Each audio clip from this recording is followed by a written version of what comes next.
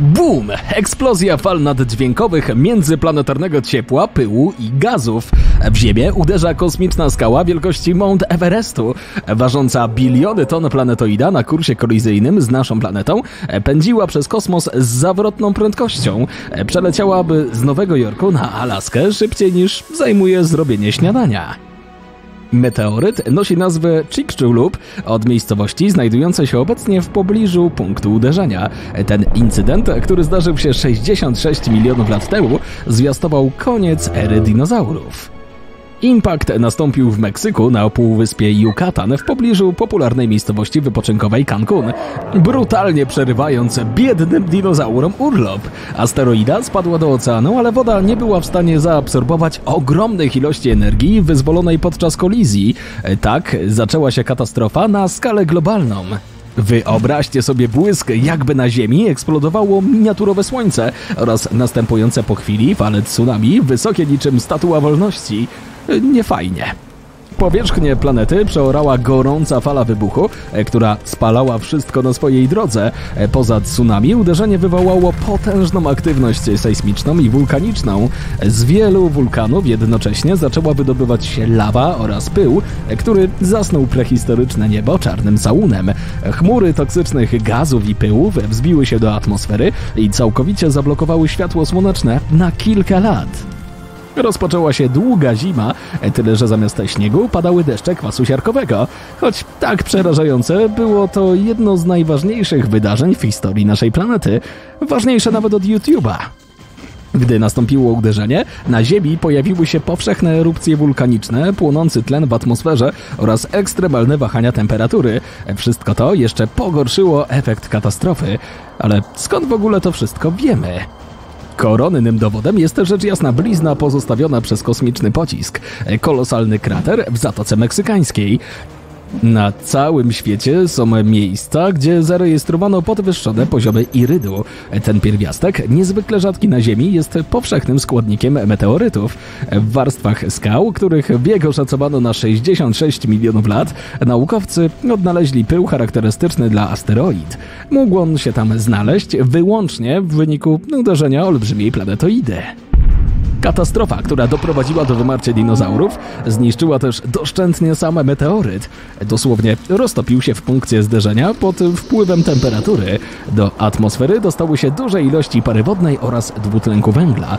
Ale najgorsza była siarka, która wzbiła się w powietrze po uderzeniu.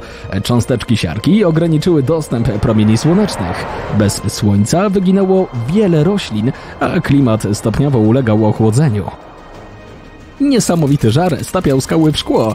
Takie bryłki szkliwa nazywane są tektytami. Pod wpływem siły uderzenia stopione skalne okruchy uniosły się w powietrze i po jakimś czasie zaczęły opadać. Wyglądało to tak, jakby ziemię bombardowały szkliste kule ognia. Tektyty podpalały wszystko, na co opadały.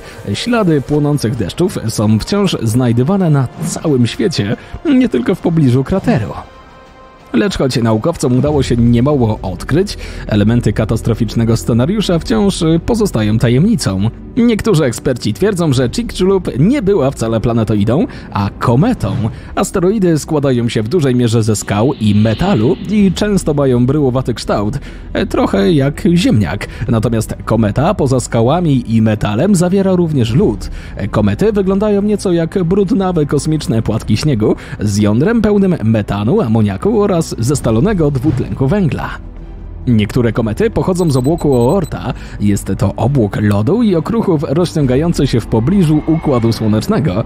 Od czasu do czasu z obłoku odrywają się komety i zmierzają w stronę naszego Słońca.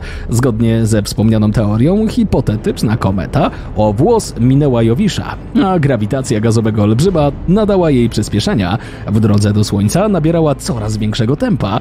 Gdy zewnętrzna warstwa lodu zaczęła parować, za kometą rozciągnął się charakterystyczny warkocz gazu i pyłu. Ostatecznie przyciąganie słoneczne rozdarło kometę na kawałki. Jeden z fragmentów zmienił trajektorię i wbił się w Ziemię 66 milionów lat temu. No to w takim razie asteroida czy kometa? Być może nigdy się nie dowiemy. Jakby nie było, Ziemia miała pecha, że znalazła się na drodze przelotu, gdyż zetknięcie z kosmicznym intruzem na zawsze odmieniło naszą planetę. Katastrofa zatrzymała rozwój 75% form życia. Z klęski wyszły cało niektóre większe wodne zwierzęta, jak krokodyle, żółwie i ryby.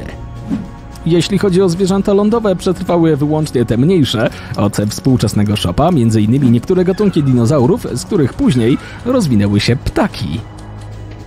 Powszechnie uważa się, że za przetrwanie tych stworzeń odpowiedzialne są dwa czynniki.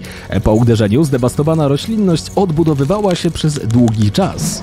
Dla większości gatunków tak długi brak pokarmu oznaczał wyrok śmierci. Jednak te dinozaury posiadały dzioby, dzięki którym potrafiły rozbijać orzechy oraz wykopywać nasiona z ziemi. Taka adaptacja pozwoliła im przejść jakoś ten trudny okres. Poza dziobami gatunki te cechowały się także większymi mózgami. Możliwe, że ze względu na wyższy potencjał umysłowy były w stanie ze sobą współpracować oraz szybko dostosowywać się do nowych warunków. Ostały się inne formy życia, jak grzyby i pleśnie, przeważnie pod ziemią lub pod wodą.